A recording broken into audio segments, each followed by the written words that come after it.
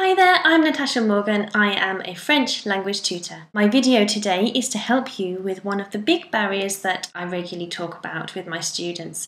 It usually follows a trip to France, where my students have gone, they've started to speak French, and what happens? A French person recognizes their English and starts speaking to them in English. No, can't have that, can we? Here's how to get around that. I've got five top tips for you today. The first one is to respond back in French. Just continue in French, continue your conversation. This is one of the things I do naturally anyway. If I detect a bit of a French accent talking English to me, I just don't notice the difference and respond in French. My subconscious says French. Okay, number two, tell them you'd like to practice. Be honest and just lay your cards on the table and explain that you would like to practice your French. Number three is to stay strong. You've worked too hard to back down now. You've put a lot into learning the phrases, the vocabulary, getting your brain to remember all the content, all the words, to string everything together. You know, you don't want to waste that. Otherwise, what might happen is you don't pluck up the courage to do it next time. You don't want to start to have a little bit of negative feeling where you start to feel anxious, nervous, feel silly. It's best to give it one big shot, go straight in and just keep your ground. There's no need to be aggressive or kind of against them.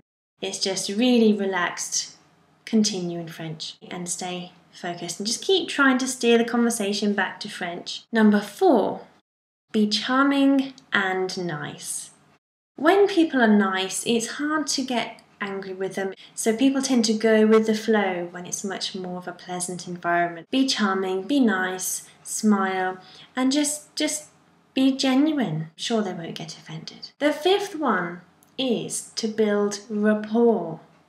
We all know it's very important that to achieve things in life, if you have connections, friends, acquaintances that are willing to help you, then you're going to do really well, you're going to do better than if you went it alone. Here, the secret is to strike a rapport, ask a few questions about the area, ask them their name, where did their name come from, talk about where they're from in France, where the best bars are, the best restaurants, anything that kind of shows that you're a nice person, anything that gets them to know your character just to get chatting. Then they will more than likely want to help you in French and start to help you learn a few words, be a bit more patient. At the end of the day, a lot of people, especially waiters, waitresses, they're very busy. They're standing up here, you're down there. They can't hear what you're saying sometimes, all the conversations around you, and they're trying to pick out exactly what you're saying. So don't blame them. It's quite common that they will want to switch back into English because they know English. They can understand the menu in English as well. So hopefully that will put you in good stead. If it doesn't, just remember, just imagine me behind you going, go on, go on, go on, do it, stay talking in French, keep going. Okay?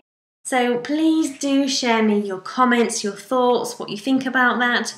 Perhaps you've tried those already, and some of my students will know this anyway, so please come and add your comments after after trying those techniques and uh, tell me how you find them. Is there something else I've not mentioned? Thanks for watching. Take care. Goodbye.